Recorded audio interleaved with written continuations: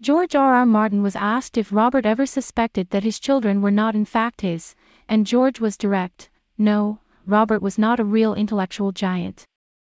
Robert was too busy living his own life to bother with how Cersei lived her life. That's also why he got Ned to be his hand, so Ned could run the kingdom and Robert could enjoy himself. Hey guys, welcome to my channel, please don't forget to like and subscribe and also click on the notification bell to remain updated.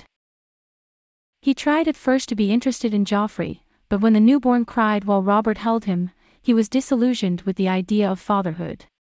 And we all know that Joffrey's less than idyllic personality clashed with Robert's, such as when he nearly bashed the boy's head in when he cut open a cat to see its unborn kitten.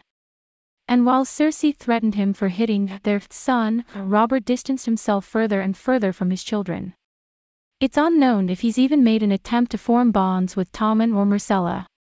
Cersei even tells Sansa in ACOK that Robert would always go hunting as she was going into labor and that Jaime was the one by her side.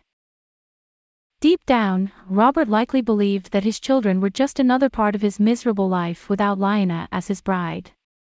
The only positive thought he had towards them is that he believed Ned Stark could perhaps lead Joffrey down a better path, unknowing of what virtually everyone with a brain in King's Landing knew. Thanks for watching, please don't forget to like this video and drop comments.